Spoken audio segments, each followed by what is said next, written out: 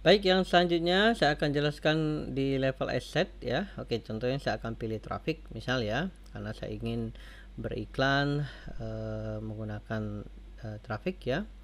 Oke, nah ini ada uh, CBO ya. CBO itu campaign budgeting optimization. Nanti uh, iklan Anda akan ke uh, nanti uh, budget iklan Anda akan di spend ya, naik seperti ini nih.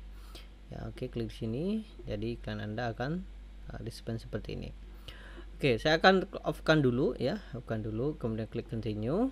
Oke, seperti itu ya. Nah di sini adalah level asset. Oke yang di sini adalah traffic ya. Oke karena saya ingin website maka saya akan pilih website. Oke. Kemudian di audience. Nah inilah yang sangat penting teman-teman ya. Misalnya eh, kalau anda tidak tahu apa itu audience nah anda klik saja di sini. Oke seperti itu ya Nah, kemudian Anda pilih uh, lokasi, ya misalnya Anda pilih Indonesia atau Anda ingin menjual produk Anda di Jakarta saja, Anda klik saja di sini, ya seperti itu.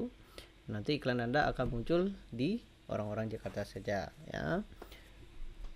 Oke, selanjutnya ini umur, gender, bahasa, ya kemudian detail targeting. Nah, inilah yang penting teman-teman, ya. Detail targetingnya, ya misalnya seperti ini. Nah, ya Oke, seperti itu ya. Jadi uh, iklan yang mereka klik, page the engagement with, kemudian aktivitasnya, ya, demografinya, uh, mobilenya dan sebagainya, ya. Oke, seperti itu. Nah, kemudian ya uh, di sini Anda bisa pilih ya berdasarkan demografinya, misalnya uh, edukasinya, ya, kemudian finansialnya, income-nya ya. Oke, karena ini bahasa Inggris ya kemudian parent ya misalnya kalau anda ingin menjual produk-produk bayi ya tentu uh, anda memberikan kepada orang-orang yang mempunyai bayi ya 1 sampai 2 tahun seperti itu ya. Kemudian dan masih banyak lagi. Kemudian relationship ya misalnya yang ingin segera menikah ya nah seperti ini. Kemudian orang yang sedang bekerja ya. Nah kemudian bisa interest juga ya berdasarkan apa minatnya Oke, seperti itu ya, teknologi ya uh, dan sebagainya dan kemudian kebiasaannya.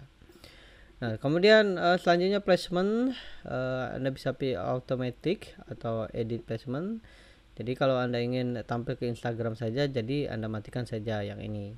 Kalau Anda ingin menggunakan Facebook, Anda bisa matikan yang ini ya, yang ini matikan. Jadi di Facebook saja atau Anda ingin menggunakan Facebook dan Instagram, Anda aktifkan ya.